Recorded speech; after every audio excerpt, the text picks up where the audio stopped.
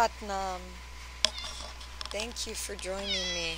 I'm Dharamkar, and we're going to be doing a series of long ekankars. The kitty has already started his. So, um, we're going to be breathing in very sharply through our sinuses up into this area through the gunas of the nose and we're going to be hitting this area here where our sinuses are as we do this. If we're going to be looking anywhere, it's going to be towards the tip of the nose.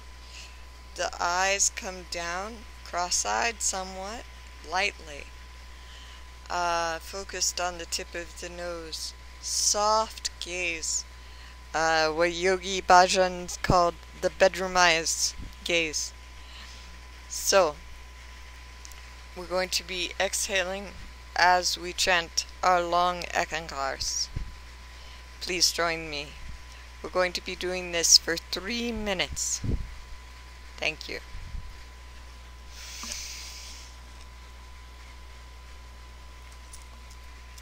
Ek Onkar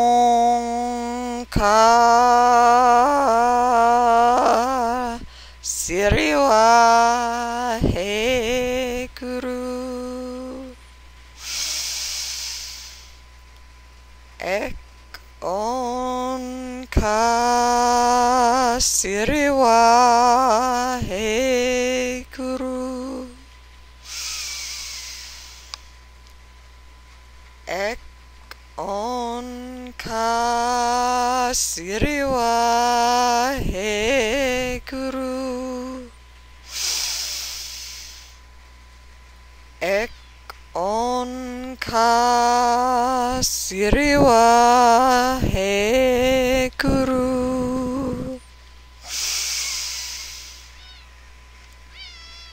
Ek on ka siriwa he guru.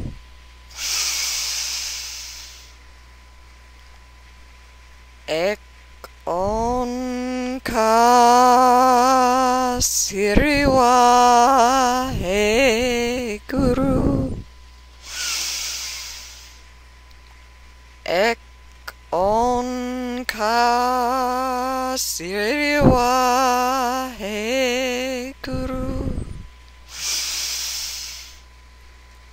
Ek Onkar Siriwa He Guru.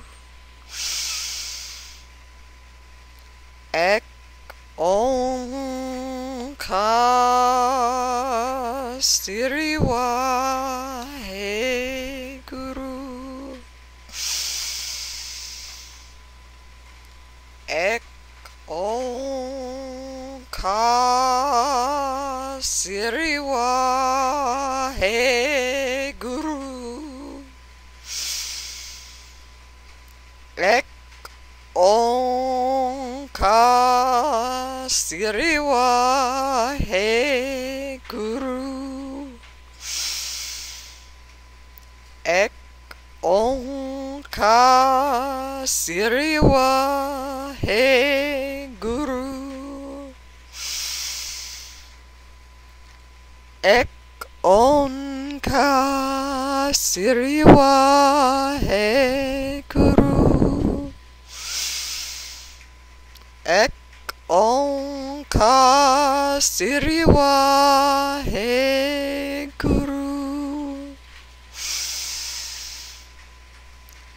Ek onka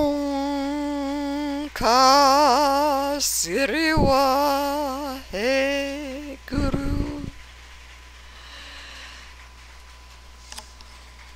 Now that we've come back, I hope that you let that resonate all through the front of your skull up into here, through your sinus cavities, through your throat chakra, all the way down to your heart center. Thank you so much for joining me.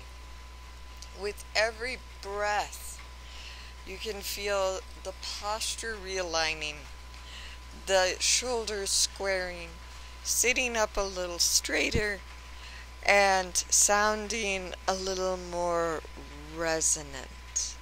This exercise helps vibrate your aura out and grow that auric field. It also allows your your gunas to focus, all of your holes all over your body. They focus where our senses are usually hungry. They can now give out the positive vibrations. Thank you so, so much for joining me. There are so many things that this exercise and many others can show you on vibration. So, I hope so much that this very simple introduction to Kriya and Mudra and Mantra, more mantra, has helped you. Um, see you next time. Satnam. Peace and many blessings. Thank you for joining me here on Mystic Ashram. Have a wonderful day.